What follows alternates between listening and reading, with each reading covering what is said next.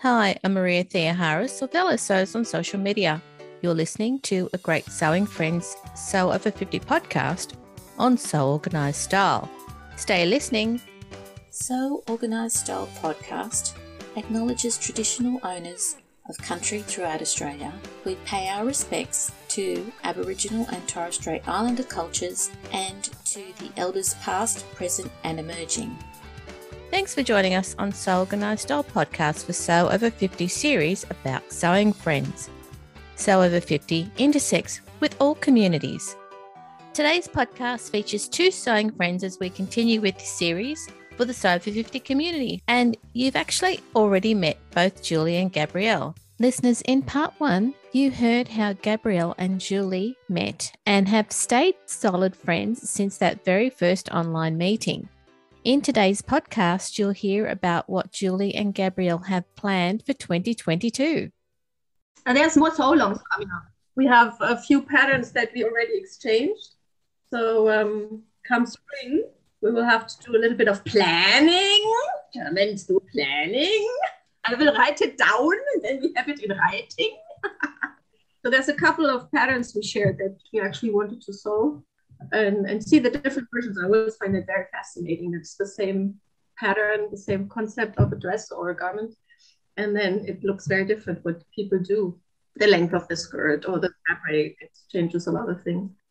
So there's a couple that we have talked about where we have to think if we want to do the two of us or if we want to invite Kerstin and Nicole, see what their plans are. So there's more solos coming. Mm-hmm. The visit to Minnesota has been postponed until 2023. Yeah, so we might have to wait on that. You know, going back to the sew longs and that, like, I'd only done one indie pattern before meeting Gabriele. I did a Kalle shirt. Okay, so that was the one thing, but that was like basically, and and that's it's hard to even. I mean, she's from Canada, I think, so it it just seemed easy and natural. But I'd never really had my eyes open to other things and Gabriele is the one, she bought me my first stocks pattern. That's right. She bought that for me and sent it to me. And I saw her coat and I am like, oh my gosh, I want one. And yes, Gabriele got that for me as a little gift. And of course, I made mine looking almost identical to hers. But that was the beginning of, you know, super cool. My eyes had been open to a real pattern designer you know, and Lindy from Stocks Pattern.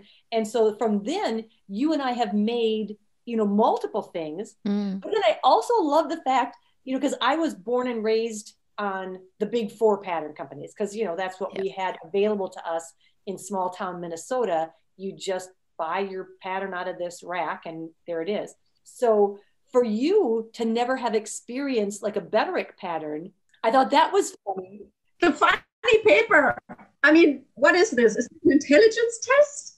You have this paper that you unfold it once and it never goes back into the bottle. It's like the genie is out of the bottle and it will never go back. Okay, now see what's so funny about that is I have spent my entire life, I fold them exactly on the same creases, mm-hmm. the same way. I mean, that's how I was taught by my mother, just like map folding.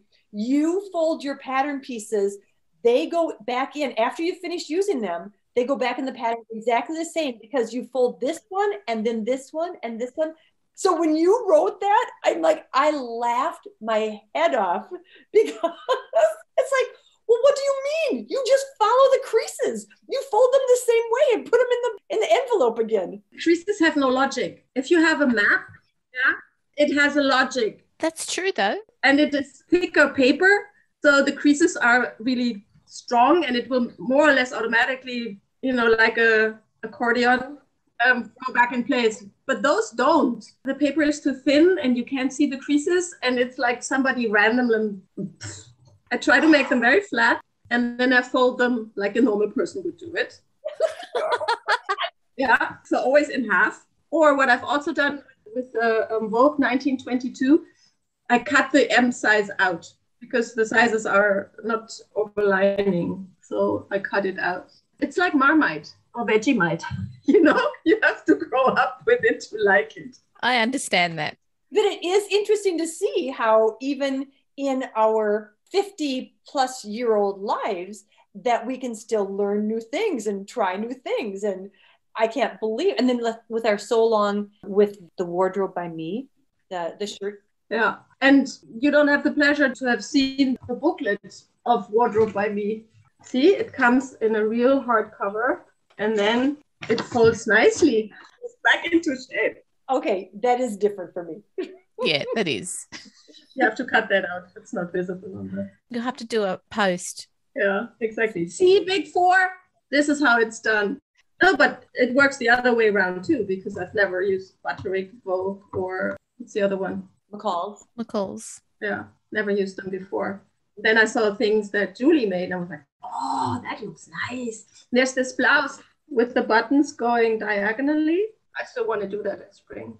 Yes, you need to. But only after you said I can do loops instead of buttonholes. Yes, because when you said that you wanted to avoid buttonholes, I think it would look lovely with the loops. So, so yeah. yes, that's on your list. So yeah, that is one thing that we have had several twinning pictures of us that has been fun. Usually Gabriele will do a, a wonderful photo shoot and then send me some examples of like, okay, I instead of pose like the model, I have to pose like Gabriele. Let me let me see if I can do this. You made the top, yeah, but you photographed yourself on the lounge chair, and I thought that photo. I mean, you are so daring. You dare to do things. You take shots and like, okay, if she photographs herself sleeping on that lounge chair in this lounge outfit, I can do that too. We have a leather couch too, so Richard had to take a photo of me lying on that leather couch, directing me that I looked similar to you, and then I reposted that. And that I think was the first twinning we did. I think it might have been exactly. And then from there, kind of has gone crazy a little bit. twinning Tuesdays on Thursdays, but I think it kind of dried up after three or four times. We have to do that again. Yes, it was. We'll have to get back to that. Yeah, 2022. Yeah, a bit more twinning. Yeah, this fall was really busy with catching up on family visits. Yeah. Well, and that was part of it. That could easily be part of it too. Is how fun to talk to each other when we weren't talking in real life to people because of restrictions and COVID and stuff. So it's like um, Gabriele was definitely a lifeline for me in terms of, you know, getting somebody to talk to about not only the sewing but you know other fun things and family and mm-hmm. and so it was just a perfect thing you know when I needed it and then it just kept going. Um, I think of her as my little sister. Yes, little, little because she is smaller than me in size and much younger. The sisterly feeling I share, but I don't, I, as I'm the oldest in my family, I'm not used to having an older sister. That's one of the things that has been coming out with all of these podcasts of sewing friends is that it's been a way that people have been able to connect with someone that they share a friendship that starts with sewing and is seeing them through this time where everyone's in some sort of isolation at various parts of the of the year and 2020 2021 has been like that we have these skills now for 2022 and beyond you are so right maria I think sewing is a hobby like other hobbies as well, and it connects people. Like if you have a garden, you can always talk with another gardener about the tomato seeds and different tomato types and how you grow them and what you do against the, the snails. But to really develop a friendship, I think it needs to be the same philosophy or the same view on sewing. Because there's nerds, there's people that take it very seriously. I've been to two sewing camps, and the first was a lot of fun. That's where I met Kerstin and some other people. And the second, they were all pros. There was no talking. They started at seven in the morning and they sewed until midnight. I can do that at home if I don't talk to people. You know, why, why are you coming here? Mm-hmm. So there's a basis where you can talk to souls, and it's always enriching to learn more and get tips how to treat this fabric and, and that fabric and that what does a different foot do. But to develop into more, I think it's also how you view your hobby. You know, how serious you take yeah. it.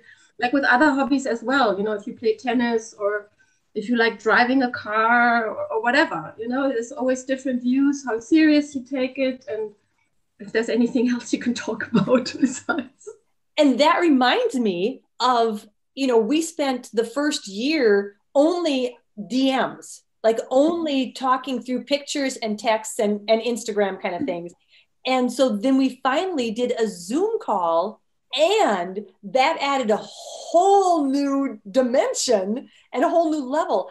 And it's almost you're braver than me in in, in sharing how long we talked. I was almost like shocked because it's like the time just goes crazy. But what was the last time we talked for like two and a half hours? Ah, two and a half hours. two and a half hours on Zoom. Yeah. our spouses are like, you know, hey, hey, isn't it time for for supper or something? How's your tongue doing? Is it still working or? I don't know how it happens we schedule a Zoom call and I kind of have to block the morning or however many hours because it's like if I'm talking to Germany, it's like, hey, nobody can call me for the next two and a half hours because I'm talking to Gabriele. Yeah, but the Zoom call was your idea. I thought it was really cool. And that is also something that I can't do with most of my friends because they have kids. Yeah, yeah they're, they're working moms, they have no time. Mm. But didn't we want to go to Iceland together? Because that's the other thing my friends all still have family and they can't travel where they want to. Richard doesn't want to go to Iceland, so we're going to go to Iceland together. I'm going to Iceland. Absolutely. It is, we are doing that. You tell me when, because that is on my my list to do with Gabriele. Before I away to Iceland, um, I'm going to show you Europe. We're going to do France and Italy and Germany together, maybe even England. See, we have all sorts of plans, Maria. We have all sorts of plans. Yeah. They sound like wonderful plans. Be looking forward to seeing all of the photos on Instagram. You want to come along, Maria? I think so, but not for the whole lot because then I'll be the third wheel and I can't be the third wheel. We can see who else we know in Europe so we can do the Sew Over 50 travel along. There you go. Speaking of that, it's like you should say, Gabriele, what you call Sew Over 50 as far as connecting people. Oh, yeah or the dating platform. Can you explain that? The dating service, as I said, you know, Sew Over 50 started so many friendships people met through Sew Over 50. I mean, as I said, it was um, in February 2020 that I first saw them and learned about them. Mm-hmm. Then they had 25,000 followers, 30, 35. You know, it's exploding. It's it's very steep growth curve. The people I follow, they tend to know each other, so there's it's like a classroom yeah, where where you see the chats and you know who knows whom. A lot of love stories started through Sew Over 50. Yes, it's definitely the matchmaking behind our meeting. You know, so who needs match.com when you have Sew Over 50? Exactly. Judith or Sandy, they said at one point that they like the discussions. They're not so much interested only in the like, they want the interaction with each other, the, the comments and the learning and the sharing. Yeah. And as they are supporting that and nourishing that behavior, encouraging people to make comments and to talk to each other, I think that's fostering these relationships. And opening up the window to meeting other people or, you know, introducing people. Because, you know, Sew Over 50 is continuing to you know on their stories or in their posts it's like here are more people that you might want to follow or here are hmm. more people you know look what they're doing and it's all sizes, it's all techniques, it's all abilities, and even all ages, even if they are called Sew Over 50, I know that they're welcoming to everybody, all genders, all everything, whatever you want to say. They're very inclusive and saying, hey, have you met this person or have you seen this technique or what are your thoughts? And challenging people in their views as well as their, like, they had the print mixing challenge. Mm-hmm. And it's like, oh, I stink at that. But who doesn't like a challenge? And why not give it a try? It was fun and then great to see other people and what they're doing and how they're putting things together. And I think it's easy, at least for me. Maybe I don't know how you are, but for me, it's easy to get into a rut into only the things that, you know, here's my style or here's my colors or here's, mm-hmm. you know, this is like all the stuff that I do is like right here in this little box. But then to see other people, it's like, oh, I never thought of that. Or, you know, with the way that Gabriele uses a selvage on her. I mean, I cut off the selvage and throw it away for goodness sakes. And look at her. She uses the selvage as a decorative trim on her clothes. Awesome. Beautiful. I mean, not all selvages are worth using, mm-hmm. but some are really nice. And depending on your neck hole, you can use it. Or for jackets, it, um, depending on the material, you can use it for the sleeve edge or the jacket edge. I like using the selvage. It's true, I, I come back to the same stuff also. I'm curious to see how my sewing will develop going forward because I don't know if I need the fourth or fifth dress of the same pattern or if I actually going to start doing buttonholes. You never know. Buttonholes, buttonholes, you can do it. My machine doesn't do good buttonholes, and I need this tool where you can do the equidistance between the, the buttonholes. Otherwise, they're all crooked lengthwise and horizontally and vertically. So, yeah, 2023 maybe. We all need a goal. Because I'm traveling to, to Minnesota in 2023. You might be able to pick something up when you're traveling. I'm traveling with a sewing machine, yeah. or you know, we could start bed and breakfast, like sew and breakfast or so. Oh, that would be a dream. You, you hop over from one sewist to the next. Okay. Sit down and sew. A progressive dinner. Like you start at one person's house for appetizers, you go to one person's house for the dinner and one person's house for dessert. Okay, so we go to one person's house for some sewing, you know, and then go to the next person's house for some sewing. Or okay, I got to tell you, I have enough sewing machines. I could invite people over. They don't have to carry their sewing machine across the Atlantic. Okay. There you go. I could set people up and we could, we'll have to work on that. All right. More goals for 2023. Yeah, we have to lure Maria out of Australia. Oh, no problem. I'm on a plane as soon as I can. No worries. All right. Thank you very much, Maria. Thank you, Julie. Oh, thank you, Gabriele. Thank you, Maria. Thanks for inviting us. Thanks for having us.